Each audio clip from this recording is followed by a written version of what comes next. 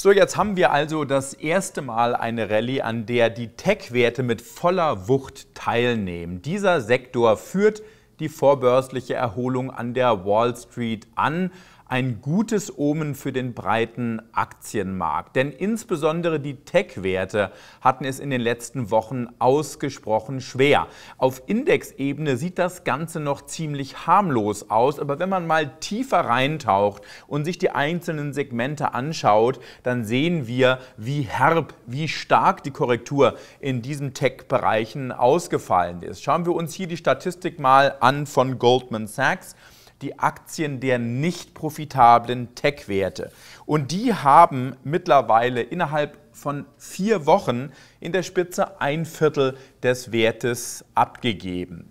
Nicht profitable Tech-Werte leiden insbesondere unter einer etwas aggressiveren Notenbank. Das sehen wir letztendlich gesehen auch bei einem Chart der SocGen, der Societe Generale. Hier sehen wir, dass im Nasdaq Composite Index mittlerweile ein Drittel aller Aktien in der Spitze 50 Prozent unter den 52 Wochen Hochs notieren. Hier wurde also erheblich Luft abgelassen und es waren in den letzten sechs Monaten nur vier Tech-Werte, die knapp 70 Prozent der gesamten Performance im SP ausgemacht haben.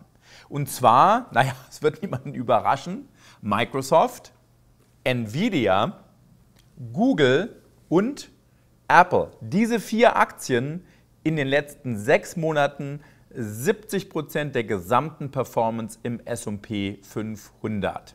Das sind also die tragenden Säulen des Marktes und wir haben heute Morgen am Dienstag eine Kaufempfehlung von Morgan Stanley. Das Kursziel für Apple wird dort auf 200 Dollar hochgeschraubt. Damit hält Morgan Stanley jetzt das höchste Kursziel für Apple an der Wall Street. Und es gibt einen Bericht in der Gigi Times, dass Apple für das erste Halbjahr 2022 die geplanten iPhone-Auslieferungen um 30 Prozent ausweiten wird, mit dem Ziel, im kommenden Jahr insgesamt 300 Millionen iPhones auszuliefern. Also Apple steigt und man mag es kaum glauben, auch die Aktien von Intel steigen heute. Der Chip-Hersteller hatte es in den letzten Monaten, um nicht zu sagen in den letzten Jahren, ausgesprochen schwer. Man hat Marktanteile in Advanced Micro Devices verloren.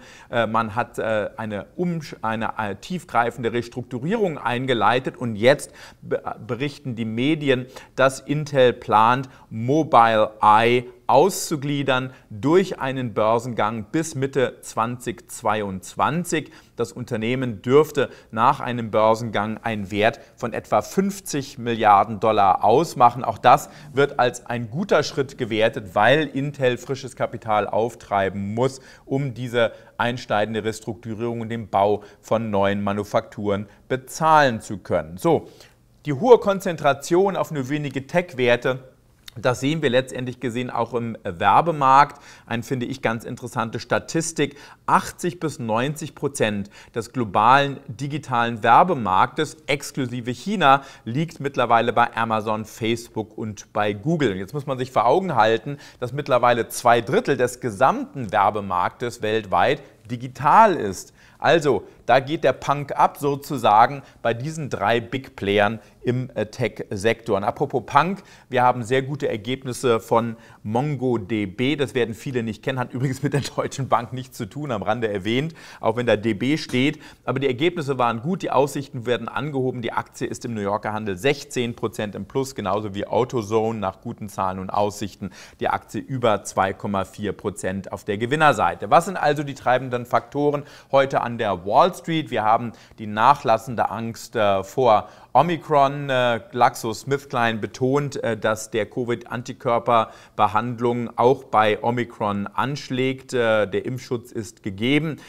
Jetzt ist GlaxoSmithKline natürlich nicht äh, das, äh, der ausschlaggebende Pharmagigant in diesem Segment. Wir warten hier immer noch auf Details von Pfizer, von BioNTech und auch von Moderna. Aber zumindest die Berichte der letzten Tage signalisieren, dass ja, Omikron ist ansteckender, aber mit milderen Symptomen. Das ist der haupttreibende Faktor der Rallye an der Wall Street, gefolgt von mehr Stimulus in China. Wir hatten diese Woche eine Zinssenkung in der Region. Wir hatten sehr gute Wirtschaftsdaten auf der Im- und Exportseite heute Morgen aus China, aus Taiwan. Wir hatten gute Industrieproduktionszahlen aus Deutschland für den Dezember. Das äh, treibt die Rallye auch mit voran. Aber der hauptausschlaggebende Faktor ist FOMO, the fear of missing out, ist back in town. Ja, aber wie steht es denn jetzt nun mit der amerikanischen Notenbank? Wird die amerikanische Notenbank denn nun stärker drosseln und was bedeutet das für die Börse? Hier muss man sagen, dass äh, ja, die Wahrscheinlichkeit, dass gedrosselt wird am 15. Dezember ist hoch. Und das ist eigentlich auch schon eingepreist. Selbst eine Drosselung um 30 Milliarden Dollar bei den monatlichen Anleihekäufen scheint eingepreist zu sein. Vielleicht ist man sogar ein bisschen zu hawkisch mittlerweile. Wenn man sich nämlich mal die Erwartungen anschaut der ersten Zinsanhebung, dann sind wir mittlerweile sehr weit nach vorne gerückt. Wir sehen das in dieser Statistik hier von The Daily Shot. Äh, hier sehen wir, dass die Wahrscheinlichkeit einer Zinsanhebung im Mai bereits bei knapp 70 Prozent liegt. Das ist sehr weit nach vorne gerückt sozusagen. Und äh, hier noch eine Statistik von CNBC dazu, die meines Erachtens den Nagel doch eher auf den Kopf trifft.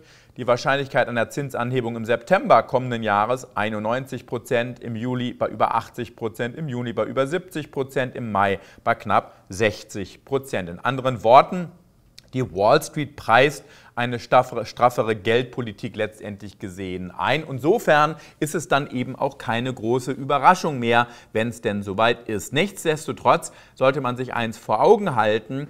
Ja, die Notenbank wird von der überaggressiven Geldpolitik im kommenden Jahr abweichen. Das bedeutet weniger negative Realzinsen und jawohl, das bedeutet auch, dass selbst wenn wir eine Snapback-Rally sehen äh, bei den Tech-Werten, bei unprofitablen Werten mit einer hohen Bewertung, dann wird sich das Umfeld trotzdem für diesen Sektor im kommenden Jahr verschlechtern. Wir sind im Jahr 2022 in einem Umfeld der Normalisierung und Normalisierung bedeutet, weniger Wirtschaftswachstum, aber Wachstum auf dem Niveau der historischen Daten, also wenn man sich mal die letzten fünf Jahre anschaut, nicht nur die letzten zwei Jahre. Das bedeutet auch im zweiten Halbjahr weniger Inflation, vor allen Dingen im Bereich der Pandemiesektoren. Einziger Haken hier ist Lohninflation, weil wir im kommenden Jahr Vollbeschäftigung sehen sollten. Und das bedeutet letztendlich auch weniger tiefrote Realzinsen.